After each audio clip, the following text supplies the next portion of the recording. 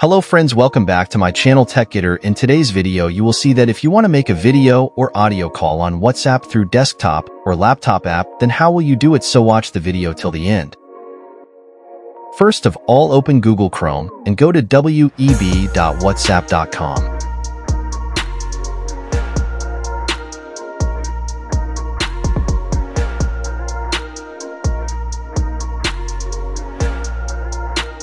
Here you will see the option to scan the QR code.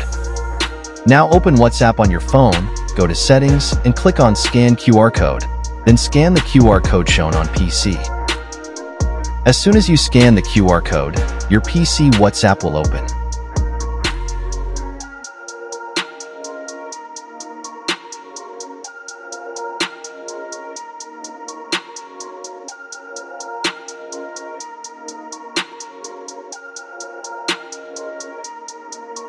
Go to any contact on WhatsApp and click on the three-dot button appearing above. You will see that you will not see the option of video and audio call here. If you also have this problem, then let us move towards the next step. We will open a new tab and type whatsapp.com. Go to the download button. Now you can download it by clicking on the download button. Open the WhatsApp file and install it.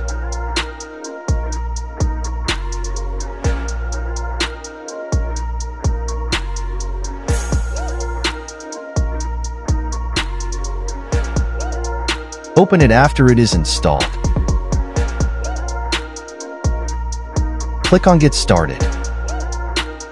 Go to WhatsApp on your phone Open the scanner, scan the scanner shown on the PC, and link your WhatsApp to your PC. You will see that WhatsApp will open on your PC. Open any contact. You will see that on the top right corner, you will see the option of audio and video call. If I click on the video call option here, you will see that the camera has opened and the video call has started.